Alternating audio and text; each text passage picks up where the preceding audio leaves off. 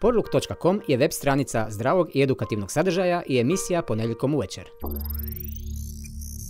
Lijepi pozdrav svima, evo nas u još jednom poruku nakon duge, duge ljetne tople pauze, pauza je bila skoro da, da sam se rastopio koliko je bilo toplo, a evo odmah sam pun volje jer je malo pala temperatura. Danas e, ćemo pričati o lijepoj temi, važnoj temi, tema se zove ljubav, a moja gošća je moja velika, velika prijateljska ljubav, Dolores Prodan Doli, e, moja stara suradnica, nije stara, nego je dugogodišnja, tako se kaže. Doli Bog. Pozdrav Denis, evo e, lijepo tebe pozdravljam sve slušatelje. Zaista nakon ljetne pauze je vrijeme da se krene i savršena tema za početak, a to je ljubav. Ajmo odmah za početak definirati što je to ljubav. E, ljubav može biti platonska, može biti prema nekom predmetu, može biti prema nekoj osobi, može biti E, ovisnička, onako da, kako bi rekao, je to kao iskalkulirana ljubav, e, da sam ja s tobom zato što smo, ne znam, dobar ekonomski par ili šta ja znam, ti imaš para, ja nemam ili obrnuto. Što je u stvari ljubav? A, ovako, ljubav je biti teško opisati riječima i ja vjerujem da je ljubav sve ono što ljudi vjeruju da ljubav jeste. Što Čak i kad znači? imamo računicu. čak i kad imamo računicu, ako je taj netko uvjeren da je to ljubav i da tu nema računice, ja nemam oružje da ga razuvjerim i kažem slušaj, to nije ljubav, ti si sa mnom iskoristi. Ako on vjeruje da je to ljubav, onda je to za njega ljubav. Pogotovo ako je računica u plusu. Pogotovo ako je računica u plusu, da. Mislim, sada bez, zezanja. Znači, to je jedan e, od najjačih ljudskih osjećanja, bilo, kao što si rekao, prema roditeljima, prema partnerima, prema djeci, prema predmetima, prema kućnim ljubimcima, prijateljima i tako dalje. Znači, e, bitno je da se taj osjećaj u nama stvara samo od sebe, raste ili se smanjuje intenzitetom i dio je u stvari naše duše. Ta predivna energija je u stvari utkana u svaki dio našeg života. Znači, htjeli mi to ili ne, mi smo hodajuća ljubav. Istina, ali ja malo kad, kad, kad ovako malo provociram zbog potrebe emisije, onda e, pucam na to da si ti gestalt terapeutica i da u biti znaš e, nešto više nego što mi obični ljudi znamo. uh I onda baš me zanimalo u biti da popiknem to kad e, to što zovemo ljubav postaje obsesija. Isto sve što si nabrojila, znači jedna tanka crta kad se prelazi prema predmetu, prema osobi, prema kućnom ljubimcu. uh to se vrlo često dešava kad u stvari izgubimo onu e, najveću ljubav, a to je ljubav prema sebi. Onda smo nekako svu svoju pažnju, svu svoju energiju i sav svoj fokus u biti prebacili na taj naš predmet obožavanja. Bio to predmet, bila to osoba ili netko drugi. U tom trenutku kad smo svu pažnju prebacili na drugu osobu, mi smo u stvari izgubili sebe. I to opet onda nije ljubav. Znači, onda se vraćamo na početak. sebe, a u stvari mene nema. Onda se vraćamo na početak, pa je pitanje sljedeće što je u biti ljubav prema sebi? U kojem trenutku se volimo, a u kojem trenutku ne? Svi govore o tome koliko je važno njegovati ljubav prema sebi u posljednjem desetljeću, odnosno ajde u posljednjih pet godina, recimo nema dana da ne prođe da ne čujem voli se, ljubav prema sebi, njegu ljubav prema sebi i tako dalje. Znači, to znači imati samopoštovanje i odgovornost prema samome sebi. To znači njegovati se, to znači slušati sebe iznutra, one unutarnje glasove koje najčešće zanemarujemo. To je ljubav prema nama. A to nikako ne treba brkati sa ego tripom. Tako je, to je daleko od ego tripa. Staviti sebe na prvo mjesto na zdrav način u stvari nema veze sa egom. To je odgovornost nas samih prema životu koji nam je dan Znači mi smo na poklon dobili život i naša odgovornost u ovom životu je da se na najbolji mogući način brinemo o njemu. I sve to znači to, mi, to što ti kažeš potpuno razumijem i slažem se s tobom, ali da li se ti slažeš da to uopće nije lako? Naravno da nije lako. Ja mislim u stvari da je najteže njegovati ljubav prema sebi. Da. Vrlo je lako reći ja volim svoje dijete najviše na svijetu, zaista bi mu dala sve i tako dalje. Ali kad to isto moraš napraviti prema sebi je jako, jako teško. A zašto je Jednostavno kao da uvijek biramo nekog drugog prije sebe. Pa evo jedan od razloga zašto je to tako je upravo taj pod navodnicima strah da ne bi ispala sebična, da ne bi ispala egotriper. A, njegovati i voljeti sebe je potpuno, potpuno druga stvar. Znači, zauzeti se za sebe, imati odgovornost prema sebi je nešto, ja bih rekla, e, teško je, vrlo je teško. Ne znam zašto je to tako teško i zašto smo naučili biti dobri prema drugima, a nismo naučili u isto vrijeme biti dobri e, i nježni prema sebi to je nekako zagonetka, međutim da se riješiti, odnosno da se naučiti, a da bi se naučila, onda najprije moramo osvijestiti to što radimo sebi, a nije ljubav. Dobro, onda, se, onda mi sljedeće pitanje se jednostavno nameće. Ako nismo dobri prema sebi, da li smo onda dobri prema drugima? Možda mislimo da smo dobri, a možda, možda baš i nismo. A, tako je, e, nekako e, se te dvije stvari nadovezuju jedna na drugu, ako nismo dobri prema sebi, u stvari ne možemo biti baš dobri prema drugima. Mi mislimo da jesmo i to je ta caka. Mi mislimo da jesmo, a u stvari to nije to. To nije to. Evo kao primjer, možda jučer sam čuo od jedne poznate osobe e, koja je rekla kad je moj sin bio sad ne znam, ne sjećam se točno koliko godina, uh-huh. 10, 15, vjerojatno više 15 nego 10, je trebao ići nešto raditi i trebao je nositi kao nekakve kašete, ne znam, u nekom centru. I onda mu je rekla da ne, bolje nemoj, pa budi ti doma ovo ono, ali sad njoj je žao jer nije stekao radne navike. A htjela je biti dobra prema mhm. njemu. Jasno, htjela ga je zaštititi, htjela je biti dobra prema njemu, možda mu naći nešto prikladnije, tralala a u stvari s druge strane medvjeđa usluga, e, dijete jednostavno ne stekne radne navike. Sad leži doma i igra igrice. Nekako nije, tako je, kako je, mislim, da. To si htjela, to si dobila. najviše na svijetu, da, da. Mislim, jasno je da majka svome djetetu želi najbolje i olakšati mu najviše što može, ali u principu treba dozvoliti osobi da se razvija i da raste na uh, njemu svojstven način. Svatko od nas ima pravi put. Tako moje dijete ima svoj put, a nema moj. Nije to kašeta ni, ni loša. Nosi sam ja svaku, svoje vremenu. tako je, tako je. Tako a ovo što si prije govorila, evo, sjetio sam se dvije, dvije stvari. Kaže se da je najprije Bog svojio sebi bradu. Tako je. A druga stvar je kad, kad plivaš pa se recimo neko topi, onda najprije moraš ovoga sebe dovesti u neku situaciju da ga možeš spasiti. Jer ako, ako ti toneš, onda ćete oba dva vjerojatno tonuti. Tako je, tako je, tako je. To je isto kao ta ljubav. Ako ne voliš sebe, nisam baš sigurna da puno ljubavi možeš dati i onome drugome. Te prave ljubavi, znači ne čokoladu, svako može dati čokoladu, ali one prave istinske ljubavi iz srca, ako je nemaš za sebe, onda nemaš šta dati. Znači ako je nemaš, je nemaš. A prvo je imaš za sebe. Evo, dobro, i to ćemo vježbati i e, najprije ćemo to izvježbati s jednom pjesmom. Sad ćemo s jednom pjesmom malo odmoriti ovaj razgovor i onda ćemo u drugom bloku ovoga još malo e, neke stvari pretrest. Idemo zasvirati. Može, hvala Deni. Porluk.com je web stranica zdravog i edukativnog sadržaja i emisija ponedjeljkom uvečer. Evo nas posle pjesme, još uvijek smo u porluk.com emisiji moja gošća je moja draga kolegica Dolores Doli Prodan Doli Yoga, kako hoćete, e, sa Zameta Yoga, sa Krka Yoga, na Solinama, Yoga, Yoga, Yoga. je li to ono što je tebi ljubav prema sebi? Kad voliš jogu i kad toliko investiraš i sebe? Između ostalog. Između znači, ostalog, da. Znači, recimo, nazovimo to posao koji volim. Tako je, posao koji volim, koji me iznutra čini zadovoljnom. Znači ne e, ona sreća trenutna koja ti pau, nego ona koja ti pruža unutarnje istinsko zadovoljstvo. je između ostalog, tako je, je između ostalog baviti se stvarima koje voliš. A da bi se bavio stvarima koje voliš, moraš upoznati sebe i vidjeti što ti to u stvari voliš. To ti neće pokazati prijatelji, niti ćeš to naučiti gledajući i googlajući, nego osvještavajući sebe iznutra i promatrajući, aha, ovdje mi je energija na maksimumu, joj, ovo je meni strašno dobro, bitno, diže me, puni me i tako dalje. Tako sam i ja došla do joge i psihoterapije. Neki tako dođu do tableta i droge, ali nećemo, nećemo sad u devijacije. Nećemo o tome, tako je. Ovaj, I što tebe točno usrećuje u tome što radiš, recimo? A, odnos pa, sa ljudima, što... odnos sa tijelom, tim vježbama koje radiš?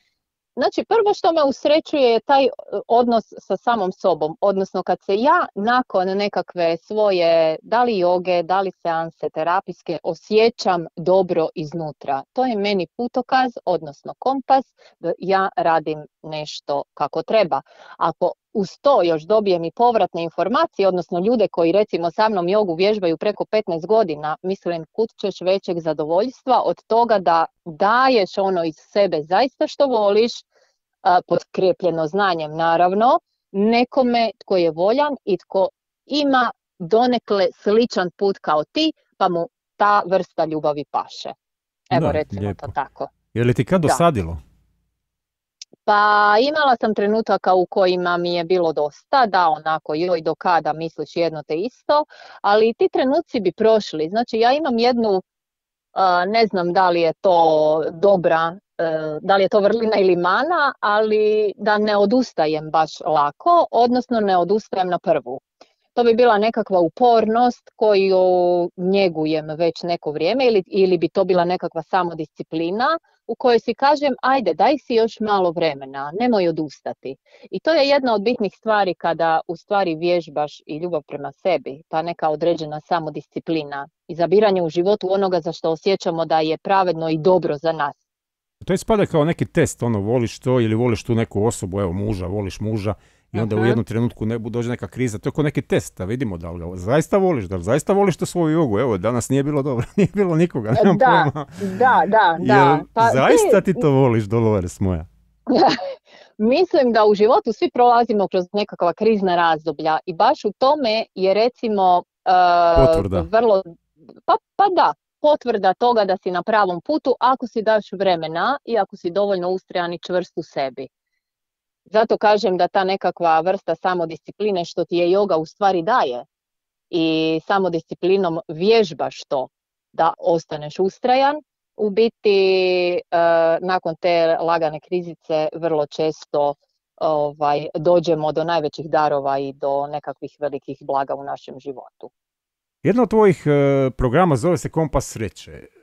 Kakav kompas za sreću ti imaš? Kako možeš nam recimo pomoći da mi nađemo tu, taj kompas koji će nam pokazati što je sreća. Evo, kao da smo natukli nešto kroz ovaj razgovor o, o tom programu koji se zove yoga, pa da vidimo sad nekako taj kompas. Da, ovako, nazvala sam ga kompas sreće jer e, svi u sebi nosimo nekakvu unutarnju mudrost koja, ako si vjerujemo, i ako smo ono vjerni to, tom svom unutarnjem glasu, nas vodi našom vlastitom putanjom kroz život. I ta naša putanja kroz naš život vrluda, znači nije to jedno pravocrtno pa ćeš uhvatiti sad pravac i furaj do stote, nije znači uklesana u kamenu kao ni sve oko nas i stalno se mijenja. I zato sam taj program nazvala Kompas sreće, znači da bi svi ljudi nastoje biti zadovoljni u životu, nastoje i teže tim nekakvim dobrim emocijama, međutim nije moguće uvijek biti u dobrom vajbu i sa dobrim emocijama. Tu nas često šibaju razno razni strahovi, ljutnje, razočaranja i tako dalje.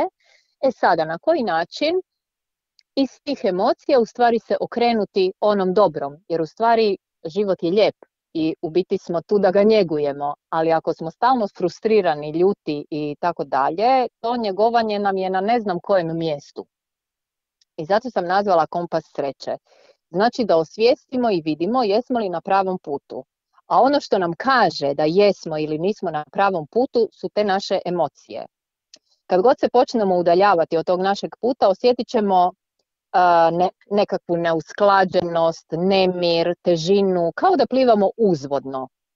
A kada smo na dobrom putu, onda ćemo iznutra osjetiti ono što sam prije rekla, ono neko unutarnje zadovoljstvo, satisfakciju. Jednostavno ćemo zračiti dobrom vibrom.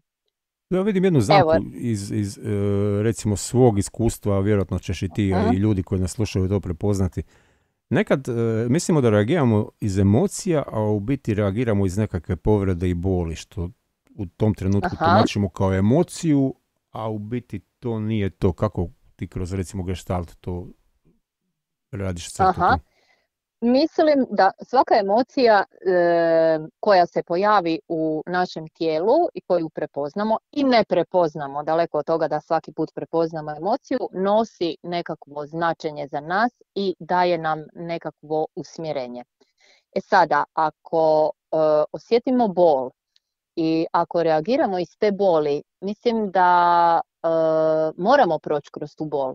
Znači, nije dobro, nije dobro za naše zdravlje, nije dobro za naš rast i razvoj u bilo kojem smislu e, negirati emociju. Bilo da je bol, bilo da je strah, bilo da je ne znam što drugo, ovaj, nego jednostavno prihvati tu emociju i reći da, mene sada boli i ja stvarno uh, ono, znam da reagiram iz boli, ali uh, jednostavno prihvaćam da sam trenutno slab ili da sam trenutno uh, rastrojen iznutra, ne mogu se posložiti, ali ok, doći će vrijeme kada ću se posložiti pa ću se bolje osjećati u tom smislu.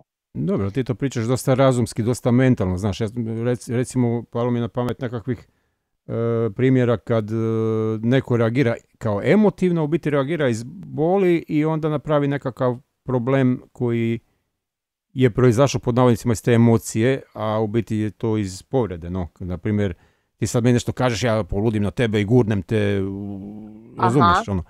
A u biti to nisam reagirao iz emocije, nego iz neke povrede. Ti si me dotaklo neku bolnu točku, a, Aha. Aha. recimo na prvi pogled bi se reklo da je to možda neka emocija. Jasno. Znači, pa te stvari radimo osvještavanjem. Znači, kada ja osvijestim da, da e, kako bi rekla, da, da sam istrigerirana, odnosno kad znam da sam istrigerirana, onda u stvari sam napravila već pola posla i neću reagirati iz te boli ili iz te povrede. Ili ću izverbalizirati to, stvarno si me sada pogodio u, ono, u ranu, moju ranu koju jednostavno ono, ne mogu nositi i ova reakcija moja sada je eto takva kakva je, ali stvarno si me ono, pogodila, no? Da se razumijemo, ja isto ne propagiram da, da je uh, dobro to zataškavati u sebe, jer onda radimo drugi problem, znači ok, reagirati, što ti kažeš, može se verbalno nešto reći pa da se i posvađamo, nije problem. uh problem je onom drugom da kasnije tu svađu osvijestimo, da, da, da spustimo loptu, što se kaže, na zemlju, uzemljimo sve i tako je. Da svačamo da, da svak, postoji u prirodi oluja i kiša.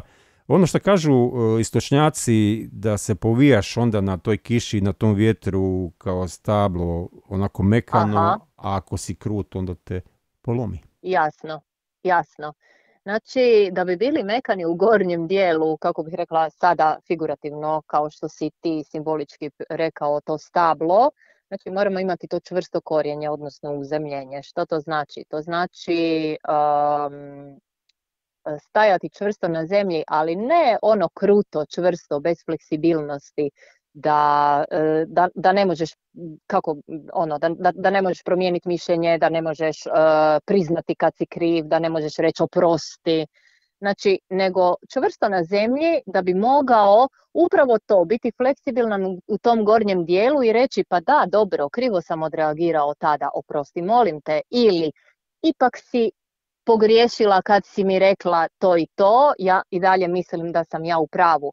Ili kad nam naleti, ne daj Bože, nekakva bolest, da kažemo, ok, ja sam sada bolestan, znači do jučer sam bio zdrav, ali e, napravit ću sve da si olakšam ovaj život u boli jer e, jednostavno ne odustajem od sebe. Evo recimo to tako. Znači ta fleksibilnost vrlo je bitna. Nas šamaraju i šibaju svakodnevno stvari sa svih strana. Znači te emocije kao baš kao oluja. Bitno je kako ćemo se u stvari mi postaviti u odnosu na te situacije. Svaki put možemo grunuti i puknut. Znači, Naravno, posvađati se sa svima oko nas. Evo da probam rezimirati, biti uzemljen, ali ne da ti korijen ide dole do Australije, nego da možeš odskočiti skupa s tim nogama u zemlje kad ti treba i preseliti se na drugo mjesto. No. Tako je, da, biti pokretan u svome uzemljenju, recimo to tako, jer ako si ti uzemljen i čvrsti, ne možeš se pomagnuti nigdje kruci, nema protoka energije. Znači, uzemljenje je isto energija koja šiba i koja mora imati svoj protočni kanal, a ne e, blokadu ili odrezanost. Onda to nije život. Gdje god da se režemo, taj dio nas više ne živi. Dobro, evo sad, čuli ste, sad ćemo još jednu zasvirati. E, mi smo do sada išli po, e, točno po imenima e, radionica koje radi Dolores i, i sad ću u trećem bloku ju uhvatiti da nam kaže točno što se na tim radionicama radi. Nismo htjeli odmah u glavu da malo približimo temu. Evo jedna muzička, evo jedna glazbena numera, pa idemo. Porluk.com je web stranica zdravog i edukativnog sadržaja i emisija ponedjeljkom uvečer. Još smo u emisiji poruk.com, evo nas u trećem bloku, kako sam rekao malo prije, e, sve smo išli po tvojim e, nazivima radionica, znači putovanje, ljubav prema sebi, mhm. kompas sreće, sad imaš mhm. sljedeća koja dolazi je uhvati trenutak uskita. I onda nam ostaje magija ljubavi, četvrta radionica. Znači, 13.9. je jedna, 29. je druga. Ako vas zanima, ja ću to sve napisati na poruk.com pa se možete javiti za Dolores ako vas zanima. A ovoga, što je uhvati trenutak? Uh, uhvati trenutak je isto jedna znači, radionica ovoga tipa kao što su bile i prve dvije u kojoj ćemo probati zaista hvatati one trenutke koji su pa recimo to neponovljivi u našem životu. Znači ono kad ti se nekad desi onaj trenutak ushita, ako sad ne otplešem na ovu pjesmu, pa nikad se više neću ovako osjećati. I daš ti oduška i otplešiš kao da te nitko ne gleda, kao da si sam u klubu, kao da, ono, jednostavno onaj trenutak ushita, kao malo dijete kad dobije bombon. Wow! I, oni nemaju tih e, barijera i tih nekakvih blokada, ono, ono se tom bombonu veseli, kao da je dobio, ne znam, milion, dolara na, na lutriji. Barijere i mi prodamo kasnije. barijere i mi prodamo i usadimo duboko kasnije, tako je. Nemoj Nažalost. plesat, nemoj se smijat, nemoj ovo, nemoj ovo, ne, nemoj Dolores plakat, dobra nemoj, budi. Tako je. I onda za par godina Dolores bude onako kuco, stoji u čošku i... Da, ajme. da i život prolazi pokrenje. Da. Upravo to se dešava. Evo kad smo već spomenuli uh, da kažem da osim što pričate na tim radionicama, e, ja se moram ispričati drugo, nisam bio na toj radionici, a eto uvijek me nešto ga spriječi, ali znam što radiš, e, znači osim što pričate i plešete i meditirate i radite vježbice, ajde možda bolje ti to objasniti. uh Znači ovako, ono što mi radimo na radionicama je, najprije bih rekla da se probamo malo upoznati, približiti jedni drugima, jer ipak zajedno provodimo neko vrijeme, pa da se malo onako opustimo, onda se polako ušaltavamo u tu našu radionicu nekakvim teoretskim dijelom, pa malo objasnimo, kao što sam ja na početku ove emisije, što je to ljubav, što je ljubav prema sebi i tako kad onako malo uronimo u tu temu, onda u stvari nekako predajem palicu svojim polaznicima i um, pozivam ih da sudjeluju zajedno sa mnom u toj radionici. Znači, pozivam ih ili da meditiraju, pa nakon meditacije pokretom izraze upravo ono što su doživjeli iznutra, ili da crtežom izraze ono što su pokrenuli iznutra, pa onda malo pričamo i o tim crtežima, zato što su oni potpuno osobni, isto kao i pokret. Znači, nema tu više nekakvog teorijskog dijela ni soljenja pameti, nego ono zaista što je čovjek proživio, da li upravo u ovom trenutku, da li mu se nešto pokrenulo iz sjećanja, pa je upravo to iznio sada na svjetlo dana i osvjetlio ono uh, reflektorom, pa će mu biti lakše.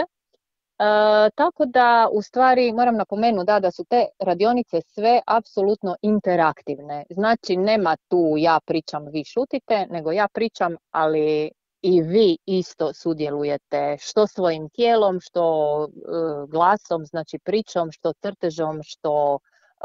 ali ne, moramo znati crtati. Ne morate znati crtat, tako je, ovo nije nekakva... Niti moramo znati plesat, naučit ćemo Niti morate znati plesat, tako je. Znači ono čime ja olakšam svaku radionicu je da ti prvi pokreti budu uvijek vođeni. Znači uvijek kažem obrati više pažnju na, ne znam, na gornji dio tijela, otvori grudni koš ili obrati pažnju na zdjelicu, pokreni dio tijela koji skuplja najviše stresa, pogotovo u sjedilačkom načinu života i tako. Znači prvi dio uvijek nekako odvodim, ali onda slijedi i onaj dio u kojem zaista pustim da čovjek nađe sam polaznicima, sebi. tako je, da čovjek nađe svoj put, jer moj put zasigurno nije i tvoj, sigurno. Znači, dozvoliš, malo samo, daš nekakvu smjernicu, onda dozvoliš da ljudi u stvari nađu svoj pokret, svoj put, svoju boju, tako da, da se izraze i da vide u stvari, da osjete, aha, tu sam super, ovdje sam potpuno mekan, sad pričamo o pokretu, ovdje sam potpuno zakočen, naime, šta je to? Znači, mogu ići dalje u rad. Kao da na tim radionicama onako dotaknemo, odnosno pokušamo osvijestiti te dijelove na kojima možemo onda prihvatiti ih takve kakve jesu, ok, ali bez osude, bez e, nekakvog ono joj pa nisam dobra zato što ne znam, ne mogu e, pomaknuti desnu nogu onoliko koliko bi ja htjela u glavi. Znači nekako ovaj, da si otvorimo put, da dublje zaronimo u sebe, u biti da se upoznamo, ne da se kritiziramo i da kažemo nisam dovoljno dobra, ne, nego da se bolje upoznamo i kažemo aha vidiš, ovaj dio mi nije baš ono, nisam baš s tim zadovoljna ili I onda se ovaj dio mi je full super. Pa tako je. Ako si najbolji, onda se ne možeš popraviti više. tako je, tako je, tako je. E, moram te pohvaliti, evo kolegica mi je pričala da je bila kod tebe na radionici sad ovoj zadnjoj i došla je sretna ko proljeće, baš, baš je vidljivo bila sretna i zadovoljna. E, evo, jo, jako lijepo. E, mi smo naše vrijeme više manje potrošili. Ja ću još za, za kraj ponoviti da ću ja napisati na porluk.com uh, tvoju, tvoje kontakte i napisat ću, evo teme ću ponoviti. Znači, putovanje ljubavi prema sebi, ljubav se zove imenom mojim, bez ego tripa smo rekli. Kompas sreće i sad slijedi uhvati trenutak ushita i slijedi magija ljubavi. Znači, ukoliko vas zanimaju ti naslovi i ukoliko vas je ovaj razgovor i naša Dolores zainteresirali, vi se možete obratiti na poruku.com gdje je njena adresa i broj i mail i sve uvjeti radionice, svašta nešto piše. Imaš li šta poručiti ljudima za kraj? Pa evo ovako, uvijek mogu reći ljudi volite se, naučite se voljeti ako još to niste, volite se, rastite, razvijajte se, pronađite najbolju verziju sebe. Evo, Hvala ti na gostovanju. Na radionice. Hvala ti na gostovanju i uvijek si dobrodošla u emisiju kad god nešto imaš. Hvala ti. Ćao. Hvala tebi Denis, evo pozdrav svim slušateljima. Dnevna doza pozitive. Poerluk.com svakog ponedjeljka uvečer. Dnevna doza pozitive. Poerluk.com svakog ponedjeljka uvečer.